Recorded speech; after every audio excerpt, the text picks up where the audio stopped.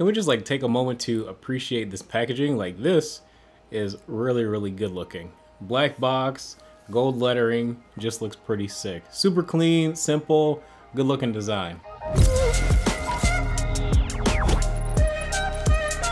What is going on everyone and welcome back to Too Much Tech and in today's video we're going to be reviewing the Matrix and Clix Elite Series keyboard. This is Matrix's first time working with a pro Fortnite player and putting together like I guess his own custom keyboard. If you guys don't know who Clix is, he makes Fortnite videos and streams and all that good stuff. He's a Fortnite pro and I guess he's pretty popular. I never really heard of him before now, but I'm kind of glad I did. I watched some of his videos and the dude is like really, really good. And just like the high level Fortnite play, especially since I haven't really been playing for the better part of like a year, is, is totally different to watch now. Matrix decided to do a custom colorway with Clix and they did this black and red theme Matrix Elite Series keyboard. And it is a really good board at a pretty decent price if you're interested in this specific colorway. In terms of the color options, you're always gonna get a red case. You get the Clix logo on the left side and the Matrix keyboards logo on the right side of the keyboard. The USB port is on the back side of the keyboard and then you have your choice of keycaps that you want to order. So you can either get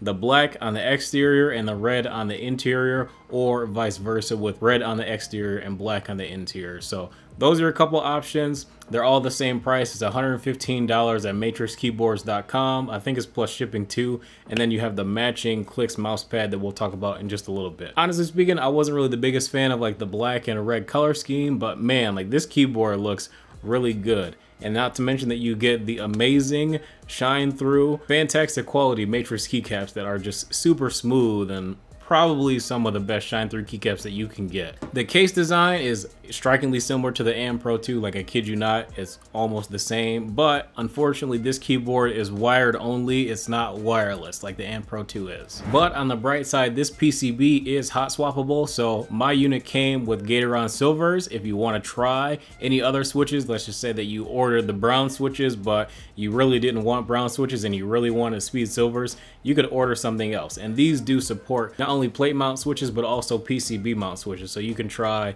any switches. You can try Novel Keys Cream, you can try Cherry MX Reds. The stabilizers aren't necessarily the best or the worst stabilizers I've ever heard. It seems like they could definitely use a bit more lube from the factory that would be nice. And they're not quite as good as the Anne Pro 2, but they're not horrible either like I would say that a Razer or SteelSeries keyboard is.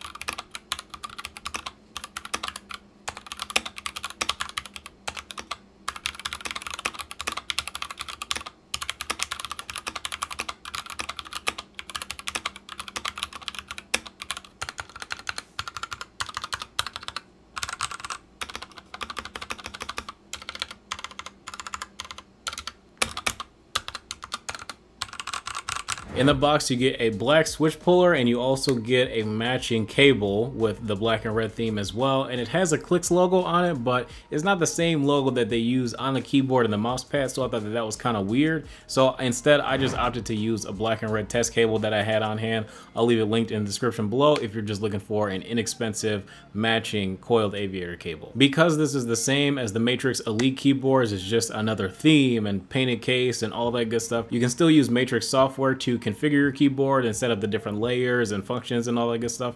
It has a bit of a learning curve to it. It's not necessarily the most simple. I'm not the biggest fan of it. Like it's okay, but I don't love it. But if you want to customize the RGB profiles on the keyboard itself, you just use function and a bracket key, and then next to the bracket key, there's a slash key. Use those two keys, and you can swap between the few different baked in RGB modes on the keyboard PCB without the need for software. And you can assign, like I said, in the software, a ton of different like functions and stuff like that. But for me, I just needed to know where the arrow keys were. How the heck do I use the arrow keys? Is it similar to the Anne Pro 2? Is it just like a ducky?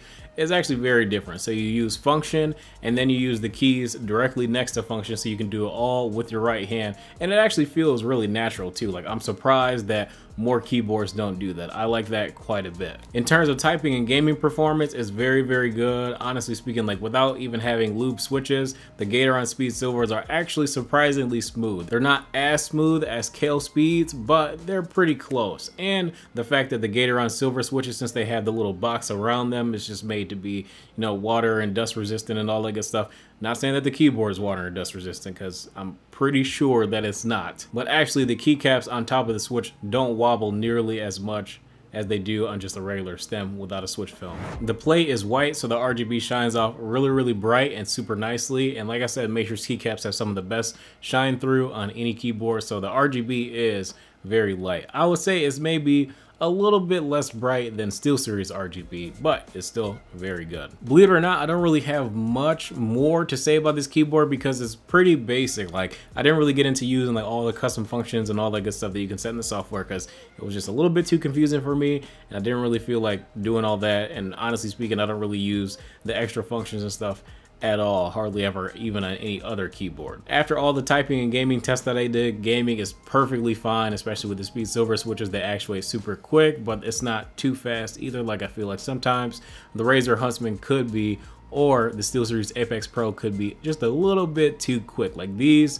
regular mechanical switches just feel like the sweet spot to me. I do think that if you're going for a black and red theme keyboard, a little bit of a throwback to like 2014, but back in 2014, all the keycaps were black and the only color options you have for lighting was either red or green. So I'm really glad that uh, this is kind of a little bit of a different take on the black and red color scheme that we have seen done to death. You can also order a Matrix mousepad in the same color and design as the Clix theme. So you get the Clix logo on the bottom left and you get the Matrix logo on the bottom right in this crimson red theme mousepad. It just looks so good. Like, I didn't think I would like a red and black setup, but man, the mouse pad with this keyboard and like if you have like a Razer Viper Ultimate or something like that, like it is an absolutely perfect combo. It just looks so good for a super clean setup. The Matrix mouse pad is like my second favorite mouse pad as well. So the Odin is my number one favorite and the Matrix is my number two. And finally, you can now buy readily available the Matrix mouse pads for about $25. So if you're gonna order something from Matrix, you might as well get a mouse pad too and you definitely won't regret because they have some of the best mouse pads on the market. But yeah, guys, Matrix did a really good job on this collab. The colorway is really good. I don't really even like black and red, but this looks great together. I wonder who else they're going to be working with, what other colorways they're going to be doing, because I want to see something else. I want to see some greens. I want to see some oranges. I think those colors will be really cool. Obviously not together, like do a green and some other complementing color and orange and something else. But work with somebody that has those colors and I will probably buy it. More importantly, I'm wondering when the Matrix Sector 4 is going to come out, and I'm wondering if they're going to do any custom colorways on that other than the black and white, because uh, we're already halfway through 2020, and it said that it was coming out in 2020, so, you know, they got till the end of the year.